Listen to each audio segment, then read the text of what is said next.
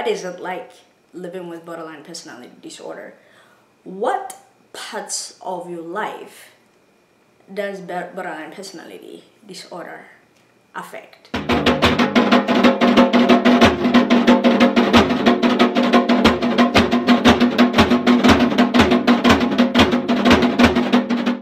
Disclaimer! Disclaimer alert! Please pause the video and read the disclaimer.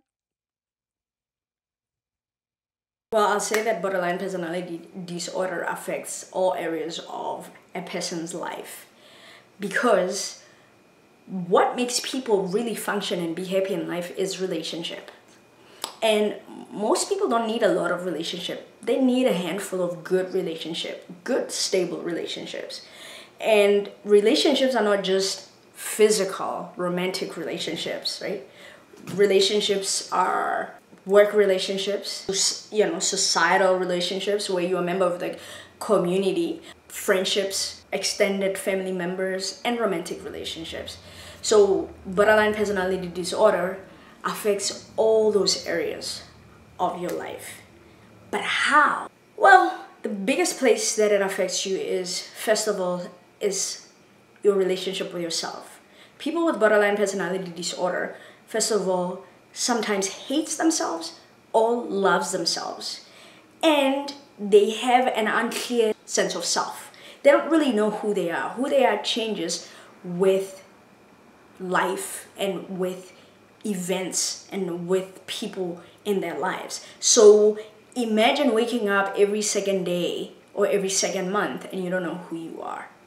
Or who you are changes by who you are with all right the second place that i feel like would affect people with borderline personality disorder is within their jobs because of their inability to control their emotions.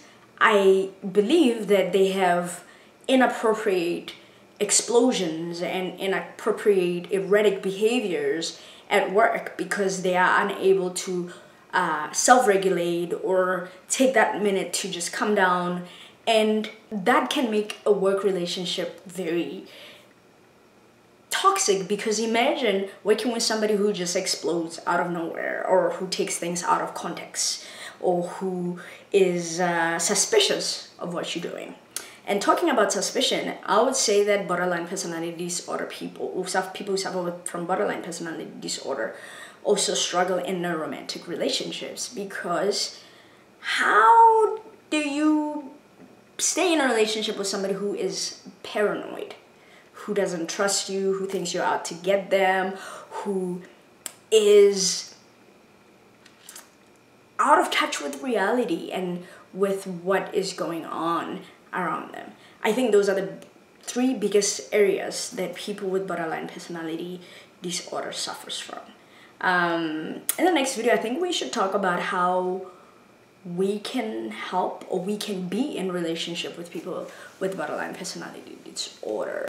If you are suffering from borderline personality disorder you have self-hate meaning that you're harming yourself or you always have ideation of uh, self of suicide or you're thinking about harming yourself or other people or you have intense emotions that you feel like you cannot stand please reach out to somebody in your local area, mental health, your me mental health, you can get help. Yeah. See you in the next video. Thank you for watching. Deuces. Don't forget to like and subscribe.